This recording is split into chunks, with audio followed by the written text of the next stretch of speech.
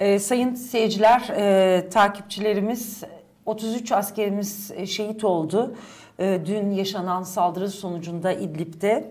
E, bugün e, tabii olağanüstü bir hal var e, ve bundan sonrası için ne yapılacak, ne olacak bunu konuşuyoruz, değerlendiriyoruz e, burada. E, şu anda e, kaynaklara ve e, doğru kaynaklara, doğru bilgilere ulaşmakta biraz sıkıntımız var. Çünkü sosyal medya e, tamamen dondurulmuş durumda ve ancak gelen açıklamalar üzerinden e, durumu anlamaya, aktarmaya devam ediyoruz. Öncelikle 33 şehidimizin ailelerine e, başsağlığı diliyoruz e, ve yaralı askerlerimize acil şifalar ve bundan sonrasında daha fazla acı haberlerin gelmemesi ümidiyle durumu değerlendireceğiz. Musa Özurlu gazeteci konuğum. Onunla birlikte değerlendireceğiz. Şimdi e, sabah saatlerinde Gelecek Partisi lideri Ahmet Davutoğlu, eski Dışişleri Bakanı, eski Başbakan e, yeni muhalefet liderlerinden bir açıklama yaptı ve İdlib'de ne olduğunun e, kamuoyuna açıklanması gerek dedi.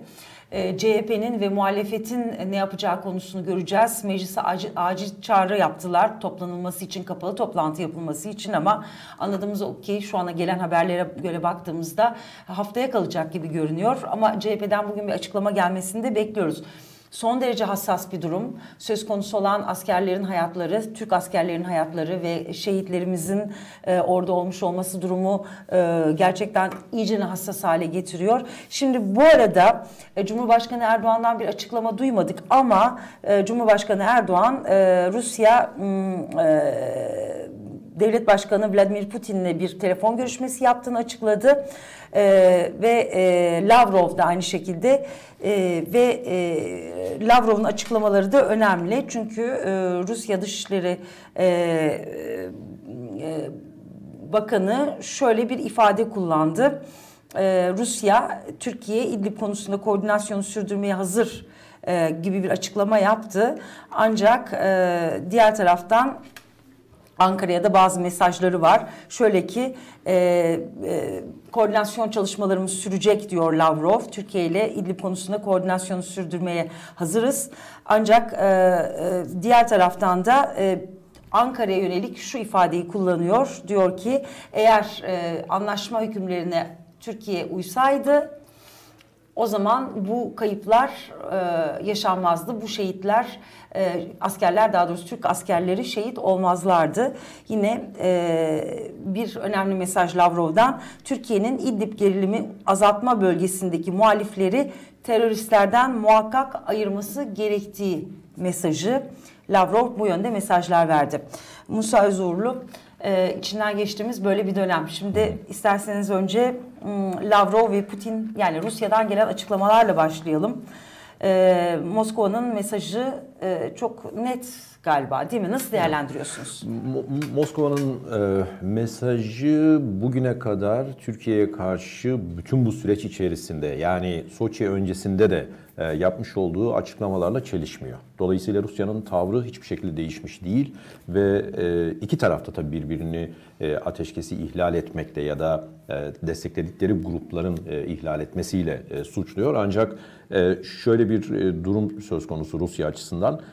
Rusya gerektiğinde güç kullanabileceğini de göstererek yani dünkü saldırıyla birlikte Türkiye'nin e, bir şekilde bu e, anlaşmaya uyması e, gerektiği konusunda ısrarcı. Yani Rusya'nın bugüne kadarki söylemlerine dikkat edecek olursak yani işte Maria Zaharova'nın da, Lavrov'un da, Peskov'un da hatta Putin'in de ve aynı zamanda Cumhurbaşkanı Erdoğan'la görüşmesi sırasında da ortaya koymuş olduğu bir tavır bu. Türkiye'nin anlaşmaya uymadığını ısrarla söylüyor ve Savunma Bakanlığı'nın açıklamasına da bakacak olursak orada çok manidar. Orada deniliyor ki bu saldırıyı Suriye yaptı e, ama silahlı gruplara yönelik olarak yaptı. Dolayısıyla orada Türk askerlerinin ne işi vardı? Yani e, burası anlaşma dışında bulunan bir yerdi. Ve e, Rusya burada e, Türkiye'ye aslında şu şu mesajı vermiş oldu. Eğer siz bu anlaşmaya uymamaya devam ederseniz ki Lavrov'un son açıklamasında da böyle bir e, şey var, anlam var. Uymaya devam etmez, etmezseniz, daha sonra uymamaya devam ederseniz bunun bu şekilde sonuçları olacaktır. Ve dolayısıyla Rusya bir yandan Türkiye'yi suçlamaya devam ediyor ama bir yandan tavrının da değişmeyeceği konusunda mesajı vermiş oluyor. Ee, tabii bugünkü görüşme aynı zamanda heyet arasında bir görüşme olacaktır galiba. Bakalım ne çıkacak. Şimdi sizin de bu söyledikleriniz biraz açacak olursak çünkü mesela e, da, Sayın Davutoğlu'nun bir çağrısı oldu. İşte dün akşam yaşanan saldırı nasıl yaşandı bu açıklansın kamuoyuna diye. Hakikaten nasıl olduğu konusunda çelişkili bilgiler geldi. Daha önce de söylediğimiz gibi e, sağlam kaynakların tam kamuoyuna açıklanmaması nedeniyle çok dezenformasyon da olabiliyor ama şimdi biz Rusya'nın açıklamalarından biraz anlıyoruz ki e, oradaki işte başta Tahrir Şahram, Şam olmak üzere e, e, silahlı gruplarla Şam'a bağlı Suriye ordusu arasındaki çatışmada değil mi?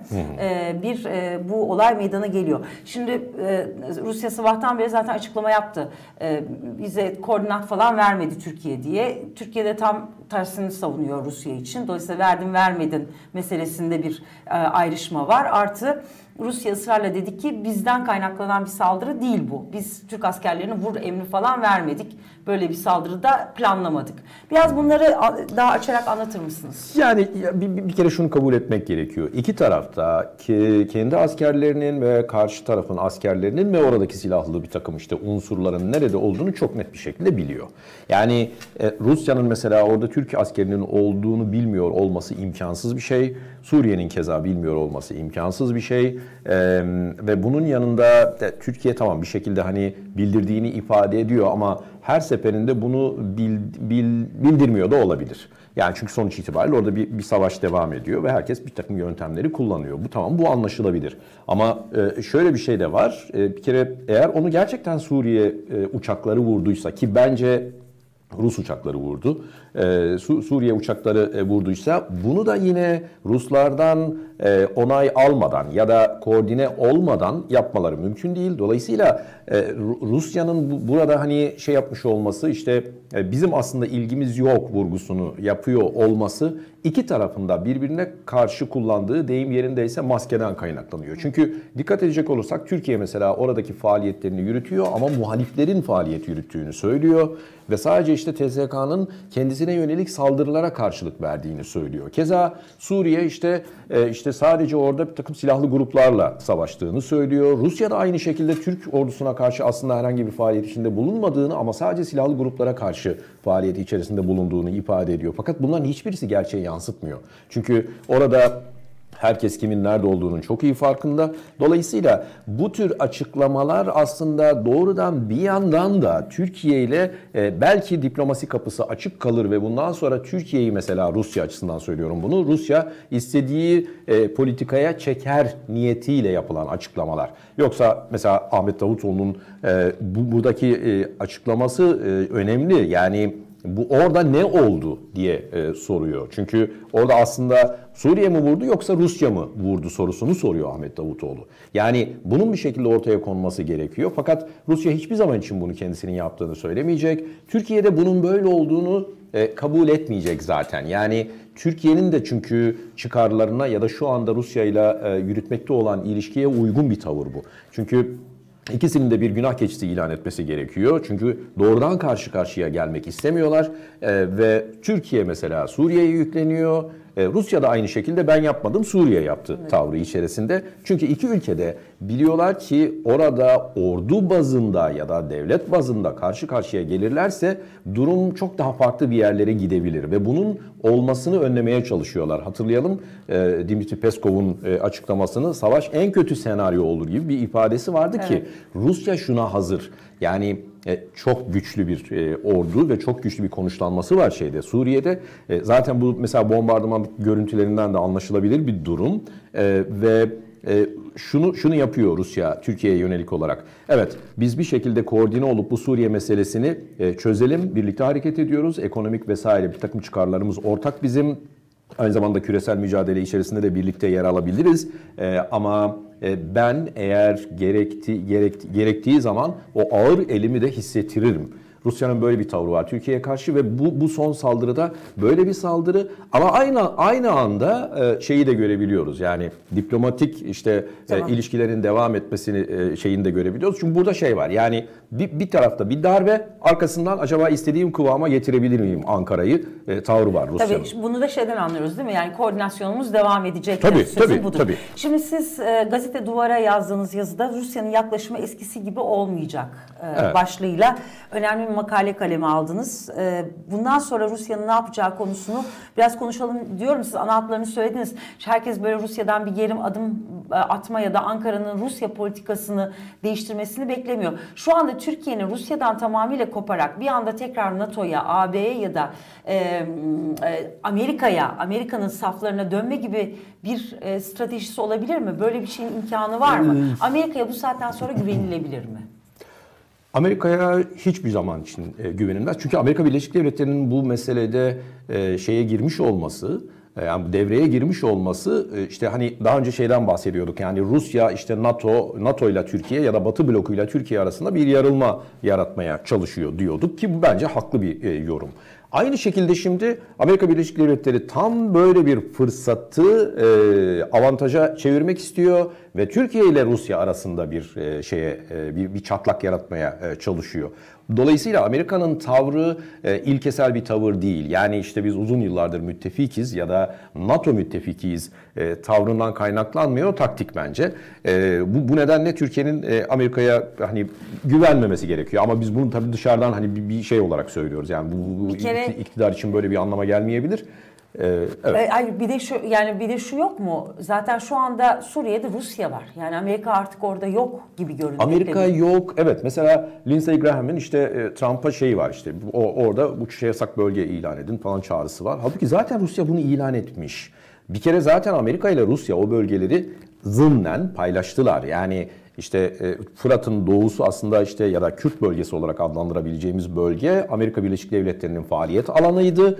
E, batısı da e, Rusya'nın faaliyet alanıydı ve bütün kalan tabii Suriye Rusya'nın faaliyet alanıydı.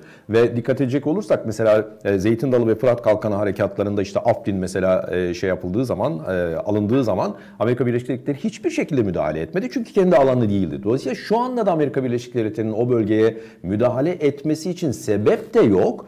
Amerika'nın böyle bir niyeti de yok. Çünkü e, fi, fiili olarak zaten Suriye'den aslında çıkmaya çalışıyor. Fakat Kürt başlığında e, herhangi bir avantaj elde etmeden çıkmamak için bekliyor aslında. Petrolü falan da beklediği yok Amerika Birleşik Devletleri'nin. Dolayısıyla e, şey tarafında yani Fırat'ın e, batısında e, yapabilecek bir şey yok. İstese de bu arada yapabilecek bir şey yok. Çünkü zaten bir şey e, uçuşa kapalı bir alan ilan edilmiş zaten Rusya tarafından. Ve bunun üzerine mesela Amerika Birleşik Devletleri'nin Rusya'ya ben de böyle bir alan ilan ediyorum. Sen de uçaklarını uçuramazsın gibi bir e, tavırda bulunması ilk ülkenin de karşı karşıya gelmesi demek ki bu çok tehlikeli bir durum. Bu nedenle şey değil. Yani çok da etkili değil. Türkiye'nin de aynı şekilde hani e, e, Rus yani şeyin Lavrov'un Türkiye'ye anlatmaya çalıştığı şuydu. Bakın biz sizinle sizin dostunuz biziz. Bizimle işbirliği yapıyordunuz. Bu nedenle bizimle yaptığımız anlaşmaya uysaydınız sorun çıkmazdı. yi anlatmaya çalışıyor. Ama Amerika ile her zaman için Türkiye böyle bir sorun yaşayabilir ee, ve bir şekilde e, Ankara'ya an, yani Ankara'nın belki anlaması gereken bu. Hı hı. E şimdi mesela bu söylediğiniz önemli. Zaten diyorsunuz ki fiili olarak orada Rusya e, uçuşa yasak bir bölge oluşturmuş. Zaten bunu defalarca konuştuk işte haberlerde yaptık. E, kontrol kulelerimizin bile çok fazla bir şey yok. Çünkü havadan herhangi bir müdahale yapamıyoruz. Karayolunu evet. kullanmak zorundayız. Şimdi mesela e, Cumhurbaşkanlığı e, sözcüleri e, Sayın Cumhurbaşkanı'nın etrafındaki isimler açıklama yapıyorlar. İşte uluslararası kamuoyunu çağrıda bulunuyoruz. Uçuşa yasak bölge ilan edilsin burası herkes için. Bunlar da o zaman gerçekçi bir tabana oturmuyor. Hayır hayır kesinlikle. Kesinlikle. Yani zaten Rusya'nın orada S-400'leri var. Ve Rusya uzun bir zaman öncesinde sadece orasını değil yani Türkiye'den de bir kısım işte toprağa ya da ta İsrail'e kadar uzanan bir daireyi içine alacak şekilde zaten aslında şey yap, yapmış durumda. Yani o, o bölgeyi kontrol altına almış durumda ve o bölgeye hakim. Dolayısıyla Türkiye'nin böyle bir şansı e, yok. İkincisi şöyle bir şey de var. Mesela e, şu anda Suriye ordusunun ilerleyip hakim olduğu bölgelerin ortasında kalan Türk gözlem noktaları var. Dikkat edin bakın buna kimse dikkat etmiyor. Mesela dünkü işte saldırı başka bir yerde yapıldı ama Suriye ordusunun hatta öyle ki o bir takım noktaların yanında Suriye askerleri var. Ya duvarın dibinde hemen tankları falan filan var. E, oradan mesela o gözlem noktalarına hiç saldırı yapılmıyor. Yani madem ki iki ülke savaş içerisinde neden mesela o gözlem noktalarına saldırı e, yapılmıyor? Çünkü aslında iki iki ülkenin hani şeyi yok. Daha doğrusu Rusya'nın Türkiye'yi işte acıtmak istediği, e, zarar vermek istediği bir durum yok. Fakat zorunlu olarak hissettiği zaman bunu yapıyor. Şimdi yarın mesela hava sahasıyla ilgili olarak Türkiye bir dayatmada bulunduğu zaman Rusya mutlaka bunun karşılığını verecektir. Bir de şöyle bir şey var. Ee, Suriye'de aynı şekilde e, herhangi bir şekilde kendi hava sahasını ihlal eden uçakları e, vuracağını ilan etti. Bu arada şu da var. Artık olay şuraya gelmiş durumda. Yani Rusya Suriye'ye tamam istediğin gibi hareket edebilirsin serbestisini tanıdı. Bu yüzden mesela bu dünkü işte saldırı da var, daha önceki saldırılar da var ve dikkat edelim mesela daha önceki dönemlerde Putin'in açıktan Erdoğan tarafında yer aldığını görüyorduk. Yani Beşar Esad'ı e, Putin bir şekilde bir, bir şey yapmıştı, e, geriletmişti e, ve frenlemişti de aynı şekilde. Çünkü iki senedir zaten Suriye ordusunun İdlib çevresindeki konuşlanması hazırdı. Ya bu gözümle gördüğüm bir şeydir orada. Yani bütün yığılmasını yapmışlar, yapmıştı ve birkaç kere açıklanmış olmasına rağmen Putin durdurduğu için Suriye ordusu şeye girmedi, İdlib'e girmedi. Bunda da tabii Erdoğan şeyin Putin'in Erdoğan'la ilgili bir takım hassasiyetleri e, şey yaptı, etkili oldu. Ama şöyle bir şey de var. Eğer Türkiye gerçekten bir hava sahası işte e, şeyinde bulunursa, e, hamlesinde bulunursa bu Rusya tarafından kabul edecek bir şey değil. Bir de e, su, şu şu da olabilir. Rusya eğer mesela bu olayda olduğu gibi e, hani biz size bir şeyleri anlatmaya çalışıyoruz ama sözümüzü dinlemiyorsunuz. E, tavrını sürdürürse tamam buyurun girin der. Ruslar vurmaz ama Suriyeliler vurabilir Türk uçaklarını. Dolayısıyla Rusya böylece dünkü aynı e, olayda nasıl benim e, hatam değil bu, sizin hatanız e, bir tavrındaysa e, daha sonrasında aynı tavrı ortaya koyabilir. O yüzden e, bu hava sahası e, meselesi gerçekçi bir mesele değil. Rusya ile anlaşmadan herhangi bir şekilde Suriye'de bir faaliyete girilmesi şu anda zaten somut olarak yaşıyoruz. Yani böyle sonuçlara yol açar. Şimdi dolayısıyla siz diyorsunuz ki yani Türk Ankara'nın önünde bir tek yol var. Ya anlaşacak Rusya'yla ya anlaşacak Rusya'yla. Bir ikinci opsiyon kesinlikle. yok. Nitekim e, makalenizde diyorsunuz Türkiye Batı bloğunu ve NATO'yu tekrar devreye sokmaya çalışacaktır. Ama sokabilir mi? Sokamaz. Yani bir kere teknik olarak sokamaz. E, bir, beşinci madde. Beşinci madde yani işte herhangi bir NATO ülkesine yapılan saldırı bütün NATO ülkelerine yapılmış olarak kabul ediliyor. Dolayısıyla e, bütün işte ülkelerin ortak bir şekilde harekete geçmesi demek. Ama şöyle bir şey var. Bu burada saldırı Türkiye toprağına yapılmış değil ki. Türkiye şu anda NATO sınırlarının dışında bir yerde faaliyet gösteriyor. Dolayısıyla yapılan bu saldırı bu çerçevede yani 5. madde çerçevesinde ele alınamaz. Varsayalım ki işte siyasal bir tavır ortaya koyacaklar. Bundan bir süre önce e, Milli Savunma Bakanı Hulusi Akar'ın işte Batı dünyasının ve NATO'nun bir şekilde harekete geçmesi gerektiği yönünde ifadeleri vardı. Hemen sonrasında Brüksel'e gitti. yani oradaki toplantılara katıldı. Fakat NATO'dan yapılan açıklamalarda İdlib dışındaki faaliyetlerini Türkiye'nin destekliyoruz gibisinden bir açıklama yapıldı. Yani NATO burada böyle bir tavır ortaya koydu. Ha diğer yandan şu da var. İşte e, NATO'nun bütün üyeleri şu anda e, Türkiye ile iyi ilişkiler içerisinde değil. Yani işte işte hani Macron'la mesela yaşanan tartışmayı biliyoruz. Diğer yandan e, Amerika Birleşik Devletleri'nin e, NATO'yu devreye sokabilmesi için bütün diğer o ağır hani de, üyelerini ikna edebilmesi gerekiyor. Bu da çok mümkün değil. Bunun yanında durup dururken mesela NATO eğer harekete geçerse Rusya da o topraklarda fiili olarak bulunuyor. Bu e, Rusya ile NATO blokunun ya da Batı blokunun doğrudan karşı karşıya gelmesi anlamına gelmiyor mu? Geliyor. Dolayısıyla NATO bu konuda dikkatli davranacaktır. Yani hani e, tamam e, şey var işte diyelim ki Türkiye'ye destek olmak ister ama Rusya'yı karşısına almak istemez. Çünkü zaten aslında aralarında bir problem var. Yani işte e, a, a, şeyin o eski hani demir perde ülkelerinin or, or, oraya NATO'nun çok büyük bir konuşlanması var ve Rusya'nın buna karşı şeyi de var. Yani silah gücünü arttırması da var. O mesela oradan alacaklar. Suriye'de karşı karşıya gelecekler. Bana çok gerçekçi çok gelmiyor. Şimdi e, Davutoğlu'nun e, açıklamalarına ben çok fazla atıfta bulundum bu sabah. Şundan dolayı çünkü kendisi Dışişleri Bakanlığı ve Başbakanlık yapmış ve Suriye politikalarının geliştirilmesinde de en ön plandaki isimlerden biri olmuş. Tabii ki Cumhurbaşkanı Erdoğan da e, muhakkak ki asıl esas ve son nihai karar veren o. Ama e, Sayın Davutoğlu'nun da Suriye ile ilgili çerçevesini biliyoruz. Şimdi bu sabah diyor ki mesela tekrardan Türkiye Birleşmiş Milletler Güvenlik Konseyi'ni muhatap almalı. Bu sorun onları ilgilendiriyor. Muhakkak onları devreye sokmalı. Bölge ülkelerini sokmalı ve Rusya'ya burada işiniz yok. Bu bölge bizim bölgemizdir demeli. Gerçekçi mi bu? Kesinlikle değil. Kesinlikle değil. Yani bütün dünya şunu çok iyi biliyor. Suriye Savaşı en başından bu yana aslında gerçekçi bir takım temeller üzerine oturmuş değildi. O nedenle mesela e, NATO işte Libya'da devreye girdi ama Suriye'de devreye girmedi. Çünkü şu da var yani Suriye mesela e, bir işte Libya ya da işte Mısır veya işte bir Tunus değil. Yani bulunduğu bölge itibariyle de e, devlet olarak şeyiyle bir, bir kimliği ile de şey değil yani başka ülkelere benzemez. Dolayısıyla Suriye'ye müdahale çok da kolay bir şey değildi. Önceden de gerçekçi değildi. Bunun yanında tabii Suriye'deki savaş da hani bir takım gerçekçi temeller üzerinde değildi. Bunlar ayrı tartışma konuları ama şu var ee, Rusya'nın mesela e, Suriye'de bulunma hakkı var mı? Evet var çünkü herhangi bir ülkeye başka bir ülkeyi resmi olarak davet edebiliyor. Dolayısıyla e, Suriye şu anda Rusya'yı davet etmiş durumda ve e, Rusya orada legal bir biçimde bulunuyor. Bu arada şu da var.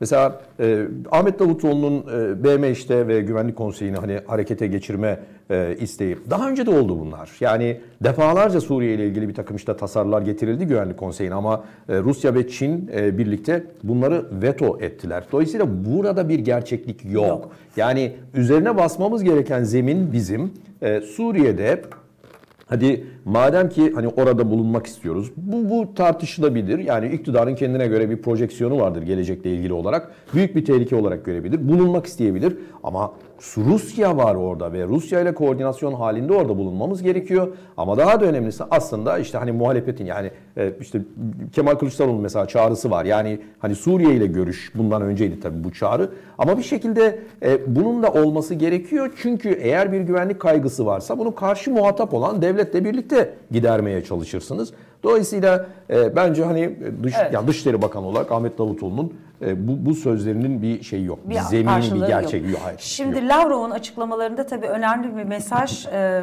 ha, bu arada e, NATO Genel Sekreteri de mesela İSA'da aradıklarını söylüyor ama yani e, son bir açıklama geldi e, saldırıyı kınadıklarını söylediler, e, e, söylüyorlar NATO Genel Sekreteri e, Stoltenberg ve aynı zamanda e, İdlib'de sivillerin zor durumda olduğunu, sonuçta Brüksel'i, NATO'yu şu anda ilgilendiren konuların başında tabii mülteci ve Avrupa'ya giden mülteci sorunu var. Oraya belki ona da bir e, cümle değinirsiniz ama oraya geçmeden önce bu Lavrov'un mesajı çok önemli. Diyor ki e, muhakkak Türkiye o bölgedeki muhaliflerle teröristleri birbirinden ayırmalı. Evet. Şimdi proxy gruplar dediğimiz yani o işte alanda savaşan e, bunlar paralı e, savaşçılar, e, yabancı uyruklu savaşçılar. Hmm. Şimdi bunları Suriye terörist kabul ediyor. Hmm. Biz Türkiye biz derken e, yani iktidar e, Türkiye'nin e, dış politikası bunları işte e, meşru Suriye ordusu olarak kabul ediyor. Ama Rusya'nın da bu konuda artık herhalde çok daha sert ve net mesajları olacak. Dünkü olayda da zaten mesele buradan kaynaklandı olarak evet, anlaşılıyor. Evet, evet. Siz nasıl görüyorsunuz? Yani Türkiye bu muhalifleri ve teröristleri birbirinden ayırt etme e, konusunu nasıl e, halledebilir, halledebilecek mi? Bu konuda Rusya'nın ısrarı ve stratejisi ne olacaktır? Devamı nasıl gelecektir yani bu konuda? Fikir şöyle bir şey var. Yani herhangi bir devlet gibi e, o devletin yönetimine karşı eline silah almış olan herkesi e, Rusya ve Suriye terörist olarak kabul ediyor.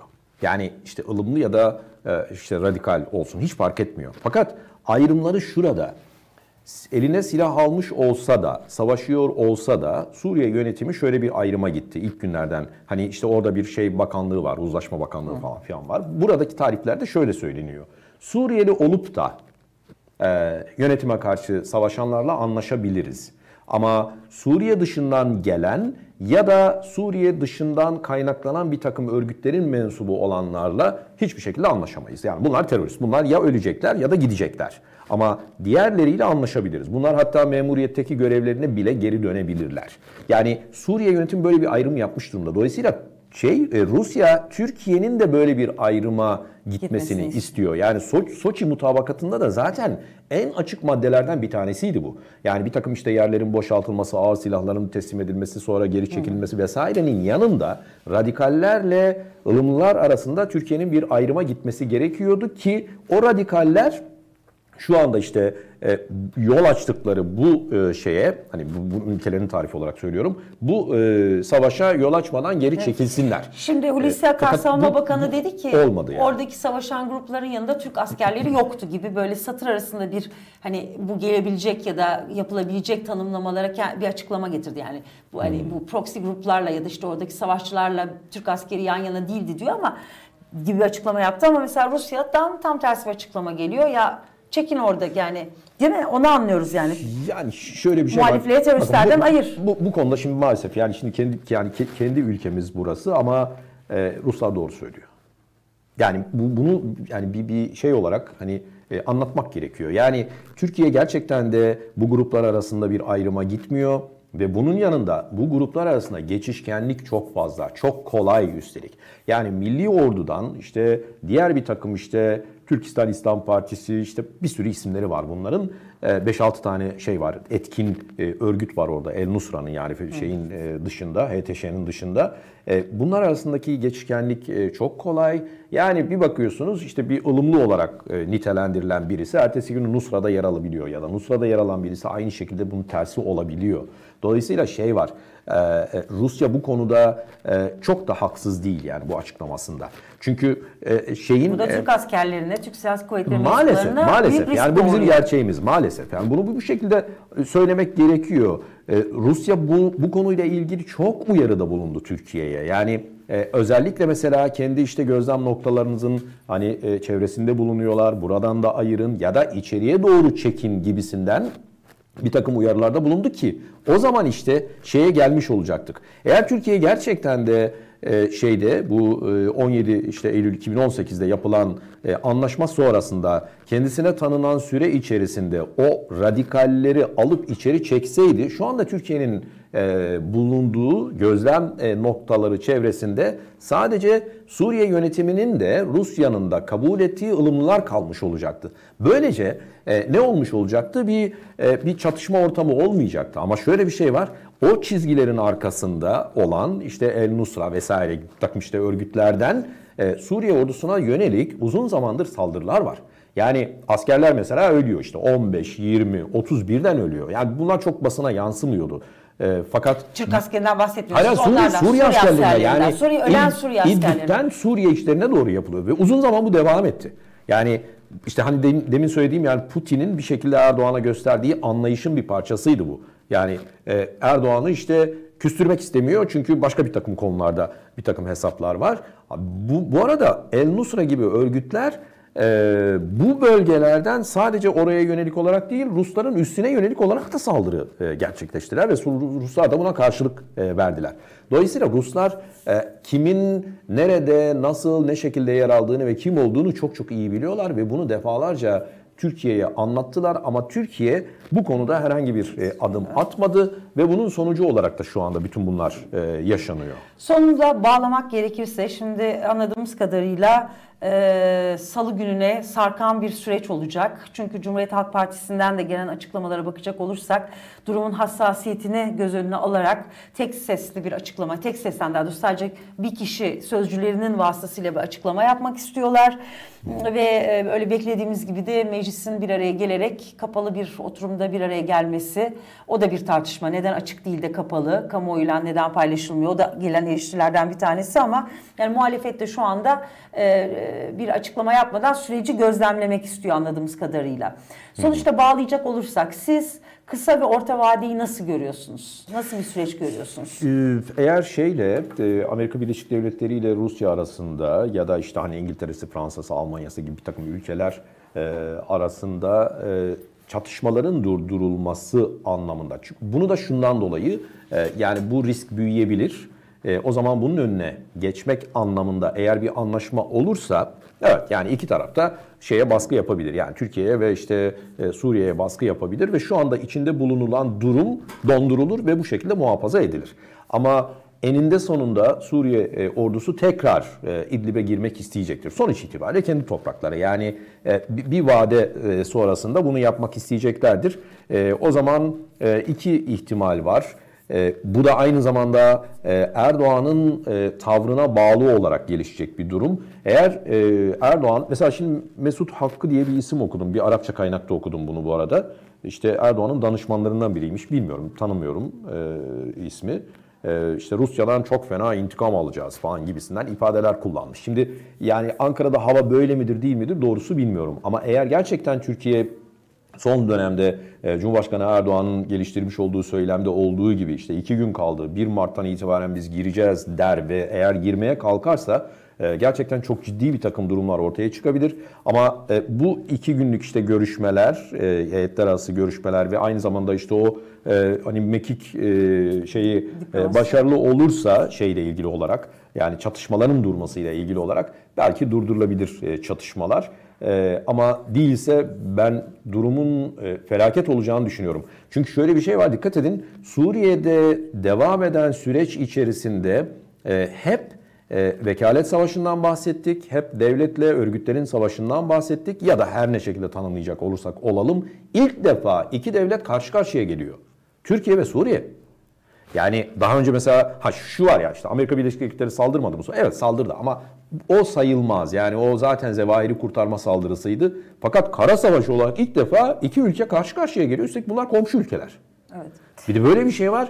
Çok tehlikeli yani Çok durum. tehlikeli. Yani Şimdi, o yüzden herhalde devreye girilecektir. Rus, Rusya'nın da zaten yani Rusya da sonuç itibariyle e, sütten çıkmış ak kaşık değil. E, onun da e, Suriye genelindeki insan hakları ihlallerini, bombardımanlarını, sivillere yönelik e, e, yine e, askeri hareketliliğini biliyoruz ama şu anda diyebiliyoruz ki maalesef e, böyle gelişti ve böyle gitti. Evet, e, yani... e, Rusya oraya hakim oldu. İşte Soçi mutabakatı dendi, Astana denildi. Bir şekilde bir sürece başlandı. Bu saatten sonra Ankara'nın e, Rusya'yla bir çözüm noktasına gitmesinden başka bir seçeneği görünmüyor. Hiçbir seçeneği görünmüyor. Yani evet. Batı'yla şu anda Batı'nın Suriye'de yapacak herhangi yani atacak tek adımı yok. At yok. Yani söz hakkı da yok, böyle bir şey de yok. Yani Peki çok teşekkür ederim. Rica ederim. Ee, Musa Özurlu yorumlarınız ve analizleriniz için. Gelişmeleri aktarmaya devam edeceğiz.